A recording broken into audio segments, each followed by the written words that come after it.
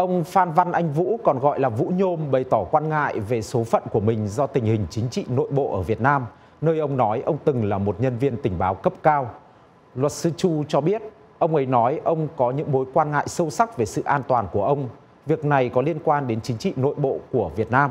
Luật sư Chu cũng cho biết thêm rằng thân chủ của ông cho biết ông từng là một sĩ quan tình báo cấp cao ở Việt Nam. Sau khi gặp thân chủ lần đầu tiên hôm mùng 3 tháng 1, luật sư Chu khẳng định ông Vũ không biết lý do ông bị giữ lại ở Singapore và ông ấy tin rằng ông có giấy tờ hợp lệ và muốn đi đến Đức.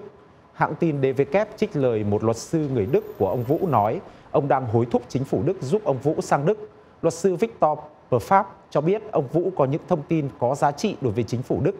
Ông Vũ là một thượng tá công an Việt Nam thuộc Tổng cục 5 Bộ Công an, cơ quan có nhiệm vụ bắt giữ ông Trịnh Xuân Thanh.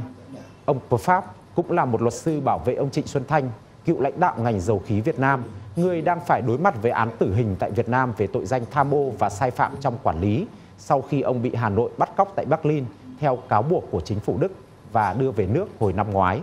Các luật sư của ông Vũ nói với hãng tin Reuters rằng họ đã nộp đơn xin chuyển ông Vũ tới Đức để tránh bị đưa về Việt Nam, nơi có phần chắc ông có thể đối diện với bản án tử hình vì đã tiết lộ bí mật nhà nước, một hành vi vi phạm nghiêm trọng liên quan tới an ninh quốc gia. Singapore tại thời điểm này không có hiệp định dẫn độ với Hà Nội, nhưng cơ quan di trú của nước này có quyền trục xuất trong một số tình huống nhất định, theo luật sư nhập cư của Singapore.